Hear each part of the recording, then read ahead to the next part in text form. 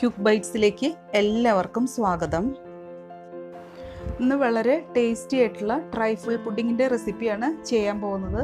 നമുക്ക് വിശേഷ അവസരങ്ങളിലൊക്കെ ഉണ്ടാക്കാൻ പറ്റുന്ന നല്ലൊരു ടേസ്റ്റി ആയിട്ടുള്ള പുഡിങ്ങാണ് ഈ പുഡിംഗ് സാധാരണയായിട്ട് മൂന്ന് ലെയറുകളായിട്ടാണ് അറേഞ്ച് ചെയ്തെടുക്കുന്നത്.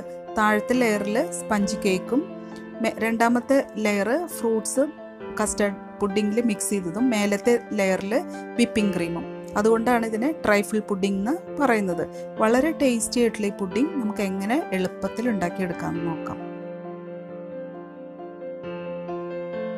നമുക്ക് ആദ്യം ട്രൈഫിൾ പുഡിങ്ങിലേക്കുള്ള കസ്റ്റാർഡ് ഉണ്ടാക്കിയെടുക്കണം. അതിനായിട്ട് അര ലിറ്റർ പാൽ മൂന്ന് ടേബിൾ സ്പൂൺ കസ്റ്റാർഡ് പൗഡർ കാൽ കപ്പ് പഞ്ചസാര ഒരു അര ടീസ്പൂൺ വാനില എസൻസ്. ഇതൊക്കെയാണ് കസ്റ്റാർഡ് ഉണ്ടാക്കാനുള്ള ഇൻഗ്രീഡിയൻസ് ആദ്യം നമുക്ക് ഈ പാലിൽ നിന്ന് കുറച്ച് പാലെടുത്ത് ഈ കസ്റ്റാർഡ് പൗഡർ ഒന്ന് നന്നായി കട്ടകളില്ലാതെ മിക്സ് ചെയ്തെടുക്കാം. നമ്മൾ സാധാരണയായിട്ട് കസ്റ്റേർഡ് പുഡിംഗ് ഉണ്ടാക്കാറില്ലേ? ഞാൻ ഇതിന്റെ അളവുകളൊക്കെ ഒന്ന് കറക്റ്റായിട്ട് പറഞ്ഞെന്നുള്ളൂ. അര ലിറ്റർ പാലിന് രണ്ടര ടേബിൾ സ്പൂൺ മുതൽ മൂന്ന് ടേബിൾ സ്പൂൺ വരെ കസ്റ്റേർഡ് ചേർക്കാം. അപ്പോൾ ആദ്യം നമുക്ക് പാൽ നല്ല അടി കട്ടിയുള്ള പാത്രത്തിൽ അര ലിറ്റർ പാലിൽ നിന്ന് കുറച്ച് പാലെടുത്ത് നമ്മൾ കസ്റ്റേർഡ് പൗഡർ മിക്സ് ചെയ്തു. ബാക്കിയുള്ള പാൽ തിളയ്ക്കാനായിട്ട് വെച്ചിട്ടുണ്ട്. അടി കട്ടിയുള്ള പാത്രത്തിൽ പാൽ ഒഴിച്ചു കൊടുത്തു. കാൽ കപ്പ് പഞ്ചസാരയും ചേർത്ത് കൊടുത്തു.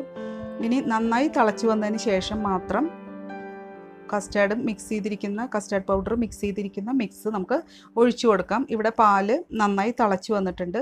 ഞാനിതൊന്ന് അരിച്ച് ഒഴിച്ചു കൊടുക്കുന്നുണ്ട്. അതിലെ കട്ടകൾ എന്തെങ്കിലും ഉണ്ടെങ്കിൽ മാറി കിട്ടാനായിട്ട് ഇനി ഗ്യാസിന്റെ ഫ്ലെയിം സിമ്മിലായിട്ട് വെക്കണം ഇട്ട് വെക്കണം. നന്നായി ഇളക്കി കൊടുക്കുകയും വേണം. ഒരു നാലഞ്ച് മിനിറ്റ് കുക്ക് ചെയ്താൽ മാത്രമേ ഈ കസ്റ്റേർഡ് പൗഡറിന്റെ ആ കുത്തൊക്കെ മാറി നല്ലൊരു ടേസ്റ്റായിട്ട് വരുള്ളൂ. ബട്ടർ ഇഷ്ടമാണെങ്കിൽ ബട്ടർ ചേർത്ത് കൊടുക്കാം. ഞാനിവിടെ ബട്ടർ ചേർത്ത് കൊടുക്കുന്നില്ല. ബട്ടർ ചേർത്ത് കൊടുക്കുകയാണെങ്കിൽ ഒന്നോ രണ്ടോ ടേബിൾ സ്പൂൺ വേണമെങ്കിൽ ബട്ടർ ചേർത്ത് കൊടുക്കാം. ഇനി ഒരു ഫ്ലേവറിന് വേണ്ടി ഒരു അര ടീസ്പൂൺ വാനില എസൻസ് ഒഴിച്ചു കൊടുക്കുന്നുണ്ട്. ഇപ്പം ഏകദേശം നാലഞ്ച് മിനിറ്റ് കഴിഞ്ഞു. ഇനി നമുക്ക് ഗ്യാസ് ഫ്ലെയിം ഓഫ് ചെയ്ത് ചൂടാറാനായിട്ട് നമുക്കത് മാറ്റി വയ്ക്കാം അടുത്തതായിട്ട് നമുക്ക് ഇതിലേക്കുള്ള വിപ്പിംഗ് ക്രീം തയ്യാറാക്കി എടുക്കാം. ഞാൻ വിപ്പിംഗ് ക്രീം റിച്ചിന്റെ ഗോൾഡാണ് എടുത്തിരിക്കുന്നത്. അതിൽ നിന്ന് ഒരു കപ്പാണ് നമുക്ക് ആവശ്യമുള്ളത്. വിപ്പ് ചെയ്യുന്നതിന് മുമ്പ് ഒന്ന് രണ്ട് കാര്യങ്ങൾ ശ്രദ്ധിക്കണം. ഈ ബൗൾ നല്ല ഡ്രൈ ആയിരിക്കണം. ഈ ബ്ലെൻഡറിന്റെ ബ്ലേഡും നല്ല ഡ്രൈ ആയിട്ടിരിക്കണം. എന്നാലേ വിപ്പ് ചെയ്യുമ്പോൾ പെട്ടെന്ന് സ്റ്റിഫ് പീക്സ് ആയിട്ട് കിട്ടുള്ളൂ. അതുപോലെ ഈ വിപ്പിംഗ് ക്രീം ബ്ലെൻഡ് ചെയ്യുന്നതിന് മുമ്പ് ഒരു രണ്ട് മണിക്കൂർ മുമ്പ് ഫ്രീസറിൽ നിന്ന് ഈ ക്രീം എടുത്ത് താഴെ ഫ്രിഡ്ജിലേക്ക് ആക്കി വെക്കണം. അല്ലെങ്കിൽ ഇതാകെ കട്ട പിടിച്ച് നമുക്ക് ഇത് ബ്ലെൻഡ് ചെയ്യാനായിട്ട് ബുദ്ധിമുട്ടായിരിക്കും. അപ്പോൾ ഇതുപോലെ ചെയ്ത നമ്മൾ ഒരു അഞ്ച് മിനിറ്റ് ചെയ്യുമ്പോഴേക്കും ഇതുപോലെ നല്ലൊരു സ്റ്റിഫ് പീക്സ് ആയിട്ട് കിട്ടും. ഇനി നമുക്ക് ഈ ക്രീം ബ്ലെൻഡ് ചെയ്തത് മാറ്റി വയ്ക്കാം ഇനി നമുക്ക് ഡ്രൈ ഫ്രൂട്ട് പുഡിങ്ങിലേക്കുള്ള ഫ്രൂട്ട്സ് മിക്സ് ചെയ്തെടുക്കാം. ഞാനിവിടെ പഴം പൈനാപ്പിൾ മാങ്ങ ആപ്പിൾ മുന്തിരി ഇതൊക്കെയാണ് എടുത്തു വെച്ചിരിക്കുന്നത്. അപ്പോൾ ആദ്യം ഒരു ബൗളിലേക്ക് പഴം ഇട്ട് കൊടുക്കുന്നുണ്ട്. ചെറുതായി അരിഞ്ഞെടുക്കുക. പൈനാപ്പിൾ കുക്ക് ചെയ്തിട്ട് വേണം എടുക്കാനായിട്ട്. ഞാൻ അതിൽ ഒരു രണ്ട് ടീസ്പൂൺ പഞ്ചസാര ചേർത്ത് കുക്ക് ചെയ്ത് വെച്ചതാണ്. പിന്നെ മാങ്ങ ചെറുതായി അരിഞ്ഞത്. ആപ്പിൾ ചെറുതായി അരിഞ്ഞത്. മുന്തിരി മുന്തിരി വലുതാണെങ്കിൽ ഒന്ന് കട്ട് ചെയ്ത് കൊടുക്കാം. കുരുവില്ലാത്ത മുന്തിരി എടുക്കണതായിരിക്കും നല്ലത്.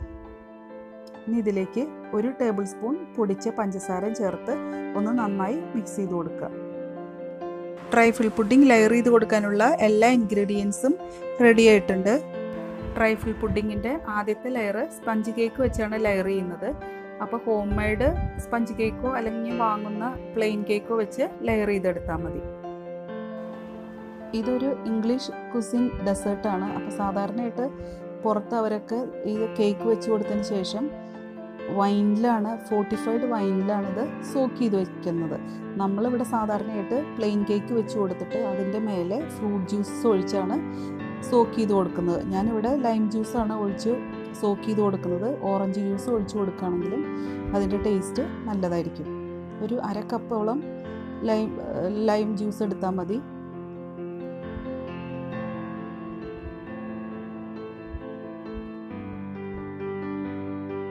ലൈം ജ്യൂസൊക്കെ സോക്ക് ചെയ്ത് കൊടുത്തിട്ടുണ്ട്. ഞാൻ ഇതിന്റെ മേലെയായിട്ട് പ്രിപ്പയർ ചെയ്ത് വെച്ചിരിക്കുന്ന ജെല്ലി കൂടി ഇട്ട് കൊടുക്കുന്നുണ്ട്. ഈ ജെല്ലിയുടെ റെസിപ്പിയുടെ ലിങ്ക് താഴെ ഡിസ്ക്രിപ്ഷൻ ബോക്സിൽ കൊടുക്കുന്നുണ്ട്. ഇതിന്റെ മുകളിലാക്കി വെച്ചിരിക്കുന്ന കസ്റ്റേർഡ് സ്പ്രെഡ് ചെയ്ത് കൊടുക്കാം.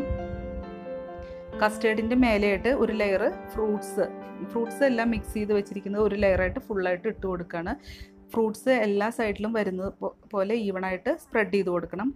അതിന്റെ മുകളിലായിട്ട് ബാക്കി വെച്ചിരിക്കുന്ന കസ്റ്റേർഡ് ഇട്ട് കൊടുക്കാം. അതും എല്ലായിടത്തും ക്യൂമായിട്ട് സ്പ്രെഡ് ചെയ്ത് കൊടുക്കാം.